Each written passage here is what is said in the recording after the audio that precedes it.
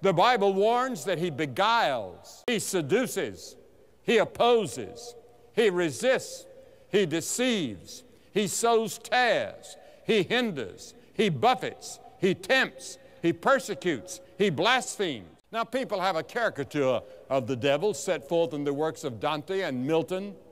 These are wonderful portraits, but they're theologically false. That's not the picture of the devil in the Bible. Satan does not have horns. He does not have hoofs. He does not have a spiked tail. Now, the devil tries to make us think that he's in hell, but he's never been to hell. And when he gets there, he's not going to be the head of hell. He's not going to run it. He'll be the chief victim. He's called the God of this age, the prince of this world, and the prince of the air. In Matthew 25, 41, it speaks of his angels.